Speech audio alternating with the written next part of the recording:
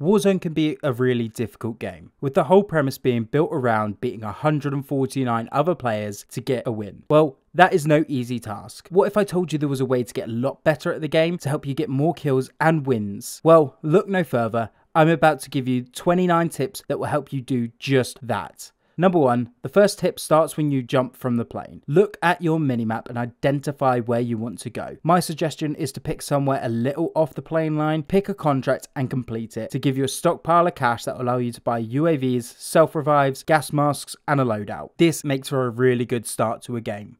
Number two, this is probably one of the most common mistakes I see players do all the time. Always reload your weapon before plating. This is pretty much a hard and fast rule that applies to every situation. Unless your gun has enough bullets to comfortably kill at least one enemy, you should always be reloading first. As if you get caught out with an empty magazine but full on plates, you're not going to win that fight. Whereas if you have a full magazine but no plates, you can catch your enemy off guard, outplay them, or just trade with them and back off and wait to fight another day. By reloading first, you'll at least give yourself a chance at beating your enemies. Number three, this is another big one that I see and often gets people stuck in some pretty bad situations. Don't always shoot the moment that you see someone. I know this can feel odd in a first person shooter, but it can be so important in a number of situations. As Warzone is more about gaining the tactical advantage over your enemy than just getting some bullets in and hoping for the best. Unless you're already being shot at or the enemy has already spotted you, then take a moment to think, can I wait for this enemy to leave cover before I shoot, meaning I'm more likely to secure my kill? Or will shooting that enemy give my position away leading to me being pinned down in an unfavorable situation, or just stop me rotating away safely from the incoming gas. But as I mentioned, don't always be trigger happy and take a moment to think if this fight could negatively impact you. You'll learn to apply this tip better with time and experience. And number four, stop looting so much. Yes, there is nothing wrong with opening those boxes that you run past. However, do you need to loot that house over there whilst the gas is coming in or enemies are nearby when you already have 10k in cash, a full loadout, a self revive, and a gas mask? No, probably not. Focus on your positioning and make sure you are in the best spot possible. Or if you're feeling kill hungry, then go find some enemies and delete them from the game. And if you're super worried about loot, you're more likely to find better loot from the bodies of your dead enemies than in random boxes.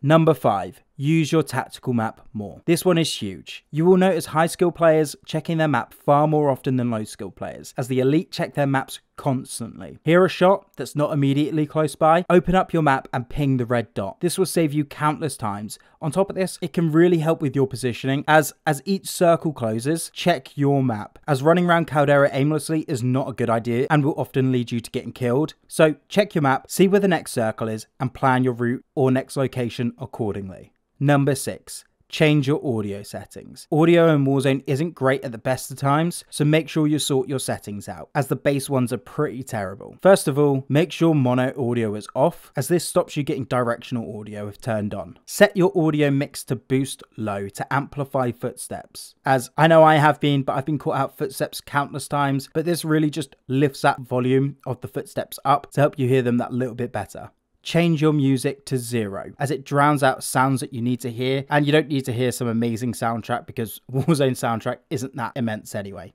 Next one, reduce dialogue volume massively. I have mine on around 20 to 30%. Again, this can just drown out noises that you need to hear. I have my cinematics volume off for the same reasons I have the other ones reduced. It's just unnecessary noise turn war tracks off, as you just don't need music being blasted down your ears, as again, this just stops you listening to things that you need to hear.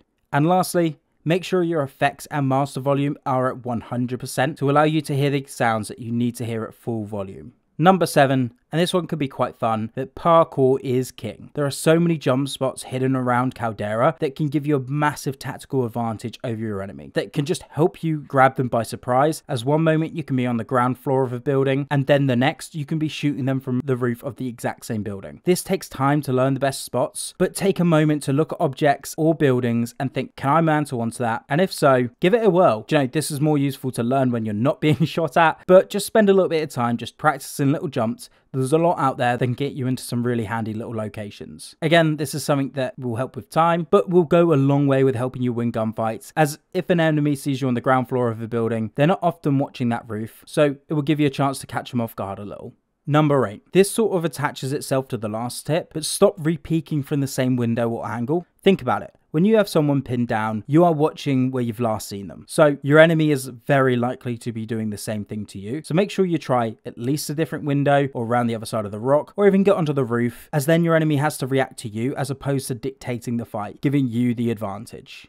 Number 9. Stop staying still whilst fighting an enemy, as targets that aren't moving around are much easier to hit than ones that won't stop flying around on your screen. Now, I'm not saying start sprinting mid gunfight, but if you and an enemy are both shooting at each other, make sure you're strafing from left to right, but don't forget to adjust your aim accordingly, as that can lead you into some pretty bad situations. And if you want to take it up a level, integrate drop shotting and jump shotting into your movement to make you far more unpredictable to enemies.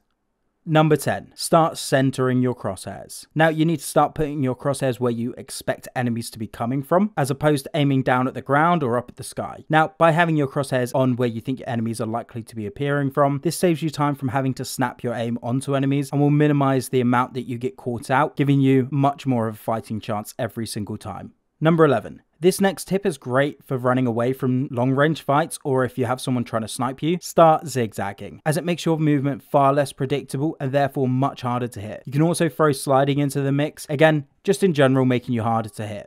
Number 12.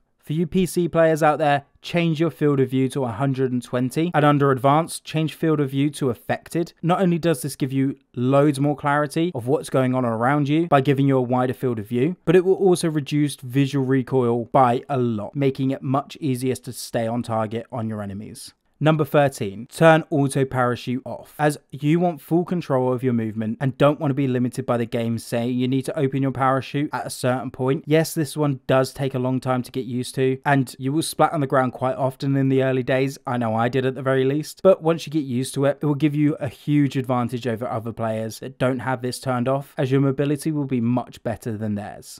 Number 14 change your camera movement to 50%, which is the lowest possible. As if your screen is shaking around all over the place, it can be really distracting, but can make it hard to stay on target when enemies are shooting at you. I've also seen some cases of this making people feel queasy when it's at 100%, so it helps out there too. Number 15, start working on your positioning, as it is key to winning a game of Warzone. Keeping the high ground or the best bit of cover available towards the end circle can make a huge difference between winning and losing a game. Yes, you will see some streamers with insane amounts of kills ditching their cover in favor of gunfights, but that's because they're much better at the game than you or I. So they can give up their tactical advantage as they're extremely likely to outgun you, but for you, keep the advantage, keep the best location on the map, and get those kills much more freely. Number 16, this is a really small one, but can come in really useful sometimes. You can blow up C4 whilst downed. So if you've thrown it out already and someone knocks you and is running at you, guess what? You can blow it up and take them out too. And yeah, this has helped me out in countless locations where I've laid up a vehicle or something and someone's gone to jump in it and I've managed to get the kill.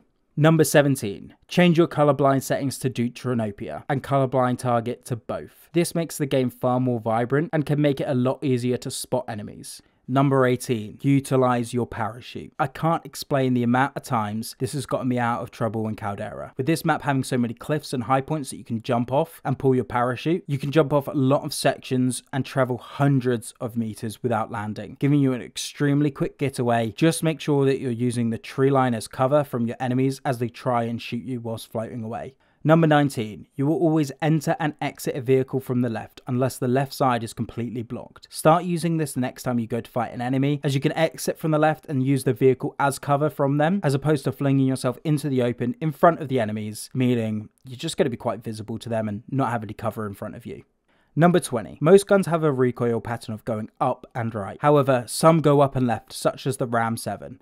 So if you're pretty new to the game and you do struggle with recoil control, I'd stick to the guns that go up and right, which is the vast majority of them. And if you're wondering, just shoot it in the pre-game and watch it go up on right, as most of them do. And if it goes up and left, I'd suggest to swap to something else. Number 21. Are your teammates down and you've just grabbed a most wanted to get them all back up again upon completing the contract? A way to reduce the timer on that is by getting kills and opening boxes. However, just bear in mind that people can see your location on the minimap, so finding a balance between looting and hiding or running away can be really valuable here. Number 22. This one I've seen loads of players do wrong. If the circle is closing in the very near future and you've got a recon contract active, wait until it closes before completing the recon contract. Otherwise, you're completely wasting the valuable information that the recon contract gives you, which is the location of the next circle. Number 23, and this is to do with frag grenades. Throw a frag grenade at a 45 degree angle after holding it for 3 seconds and it will explode upon impact. This can stop your enemies at being able to run away from it or being able to throw the grenade back. And guess what? Frag grenades absolutely tear your enemies apart and usually leaves them around one shot. Number 24, and this again goes to probably getting your teammates back. Supply runs will always go to a buy station roughly 4 to 500 meters away. You can look at the minimap and judge where it's going to end up to see if it's even worth completing, as if the only buy station on the map within that range is about to go into the gas, then you want to be picking up a different contract. This used to catch me out a lot However, now I can pretty much predict which buy station I'm going to have to go to before even picking up the contract. So if you know a bunch of enemies, some really sweaty ones are in a certain location, then you could avoid picking up that contract and just pick up a recon or a scav or something like that instead. Number 25. Using an offensive kill streak, so either the precision airstrike or the cluster strike, will ping you on the map for everyone to see in the game. But that's only for a short period of time. But nonetheless. And then the bow kill streak will perma ping you until it's been put away or used up. So if you're trying to stay stealthy, reconsider whether you need to use it or not. And no, the ghost perk won't stop this happening either. Number 26, on your loadout, always make sure your close range weapon is first, as if you're in a long range engagement, you will likely have more time to swap between your weapons than if you're stuck in a close range engagement where you often don't have much time to react whatsoever. Number 27. You can only have one bounty contract on you per game. However, big game bounties also have this rule, but act independently. So you can have like quote unquote two bounties on you per game. So getting this on you early game can actually be a bit of a blessing because no one really wants it on them towards the end circle. Number 28. Warm up before you jump into a game of Warzone by either heading into a game of Plunder or use the pre-game lobby to get your aim and movement on point. Personally, I don't touch Plunder, but I know a lot of people that do play it before they jump in, as I don't have tons of time to play games, and my ADHD makes it pretty boring to me. So I just go ham in the pre-game and aim to get northwards of about 5 kills. And then usually by that point, I'm feeling pretty fresh. And lastly, number 29, having the best guns in the game can be really important as they can give you a massive advantage over your enemies. If you have a higher damage gun with less recoil to manage than what your enemy is using, that can be huge and allow you to win more gunfights and games. Now with almost 150 guns to choose from, I know this can be pretty hard to know what the best ones to use are, but I constantly upload videos of the best loadouts to use, so feel free to check them out. And I've recently just made a loadout for the best beginners loadout in the game, so feel free to check that out on the screen now. Well, Thanks for watching guys. If you did enjoy the video, hit that like and subscribe button and I look forward to seeing you in the next one.